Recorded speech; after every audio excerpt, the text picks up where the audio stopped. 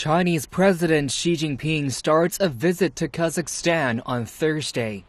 This is the first leg of Xi's second overseas trip this year, which will also take him to Russia and Belarus. The Chinese president will hold talks with his Kazakh counterpart Nursultan Nazarbayev, who's recently re-elected head of state. Analysts say the visit shows China's support to the Central Asian nation.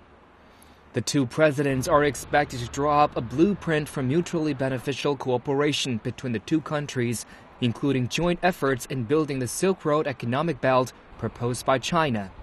They will also discuss cooperation on big projects. Chinese experts say Xi's visit shows the high level of trust between the two countries. Kazakh experts say the country welcomes Chinese enterprises to invest and build factories that produce high tech products which will help Kazakhstan increase growth and boost exports.